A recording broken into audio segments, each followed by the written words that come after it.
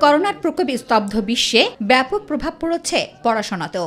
দীর্ঘ সময় কেটে গেলেও বিশ্বের অনেক স্থানেই এখনও বন্ধ স্কুল কলেজ। পাকিস্তানের চিত্রটাও একই।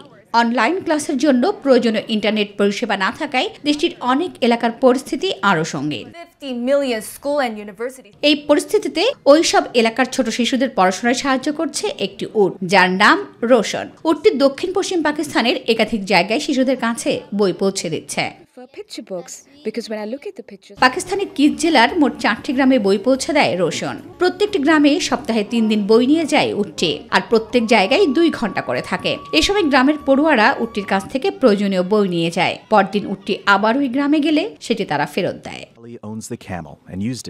রহিমা জালাল নামে স্থানীয় হাই স্কুলের এক প্রিন্সিপালের উদ্যোগেই এই ক্যামেল লাইব্রেরি প্রকল্পটি শুরু হয়েছে। স্কুল বন্ধ থাকায় নিজেদের এলাকার ছোট শিশুরা যাতে পড়াশোনা থেকে বঞ্চিত না হয় সে কারণেই দুই সালের আগস্ট মাস থেকেই এই উদ্যোগ শুরু করেছেন রহিমা। করোনা ভাইরাস এ এলাকায় করোনা ভাইরাস ছড়িয়ে পড়ে সব স্কুল বন্ধ করে দেওয়া হয়েছে। এতে বাচ্চাদের মাঝে হতাশা ছেয়ে যায়। এ এলাকায় শিশুদের স্কুলে যাওয়া আসার কাজ ছাড়া বিনোদনের কোনো ব্যবস্থা নেই। রহিমার ইচ্ছে আগামী দিনে আরও অনেক গ্রামকে নিজের এই প্রকল্পের আওতায় আনা। আর এই মহতি উদ্যোগে ইতিমধ্যেই অনেকে পাশে দাঁড়িয়েছেন তার. Marsia Mannan my TV.